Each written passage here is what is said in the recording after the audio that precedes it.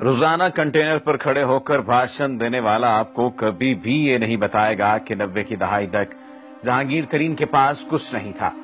یہ پنجاب یونیورسٹی میں ایک عام معمولی سا پروفیسر تھا۔ آج جہانگیر ترین پاکستان کے امیر ترین لوگوں میں شامل ہے۔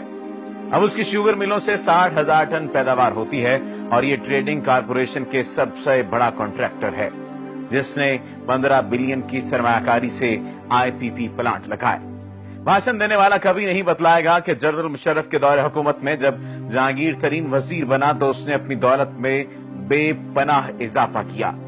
مشرف کا دور پاکستان کی تاریخ کا بدترین اور سیاہ ترین دور تھا۔ مشرف دور میں جس طرح آٹے اور چینی کا بحران آیا تھا، شاید کبھی نہ آیا ہو۔ چینی بلیک میں بھی ایک سو بیس روپے کلو تک ملتی تھی۔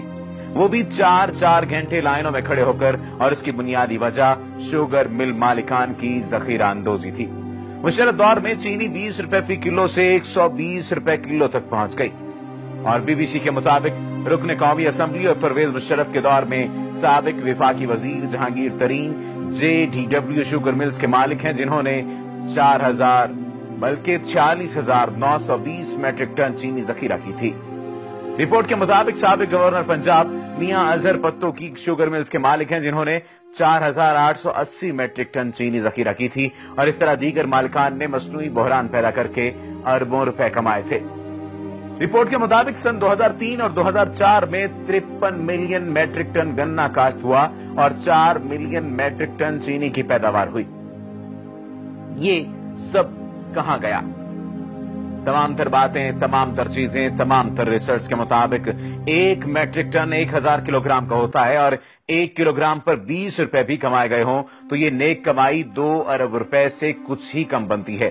اور اگر اکیس روپے کلو گرام کی چینی پینتالیس روپے بیچنے کا حساب لگایا جائے تو منافع چوبیس روپے یعنی دو ارب اڑتیس کروڑ روپے بن جاتا ہے۔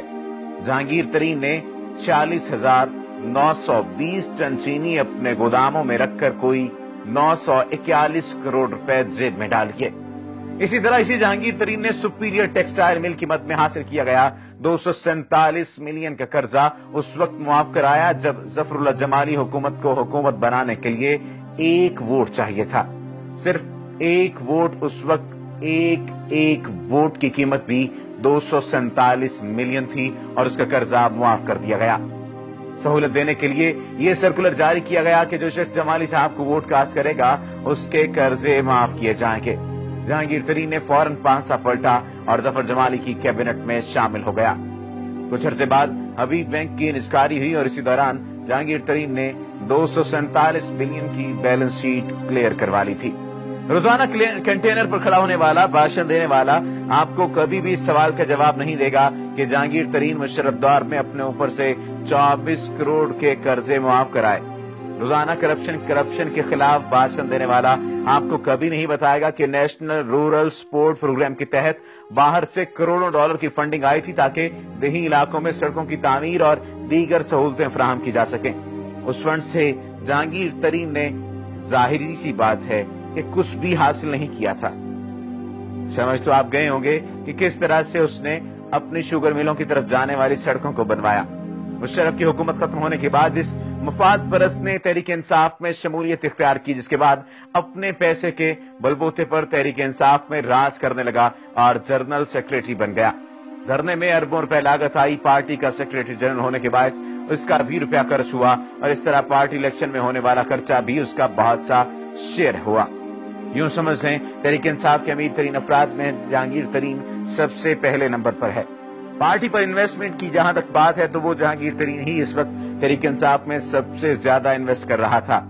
ظاہری بات ہے، اتنی بڑی آسامی کو کوئی کیسے جانے دے گا؟